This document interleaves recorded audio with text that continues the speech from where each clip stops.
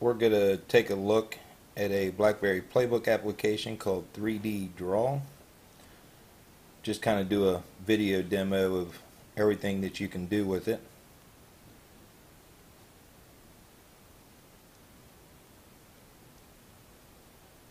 You can draw freehand and kind of move the picture around to kind of see everything that it looks like in 3D.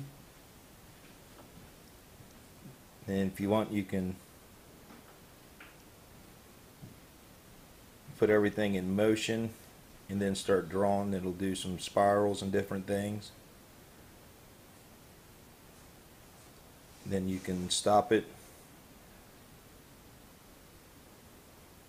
And it's pretty cool how this application is able to give you a full 3D effect on everything that you're looking at.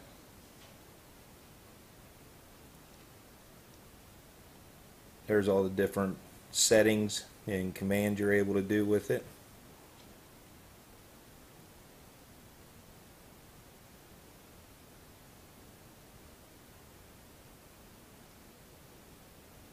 Now it's in motion pretty slow. You can speed it up, stop it.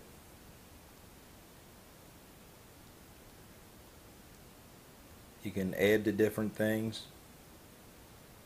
And if you want to get real creative, you can even kind of do a three-dimensional tic-tac-toe game that's a lot of fun as well. So this is a look at 3D Draw for the BlackBerry Playbook from playbookdaily.com.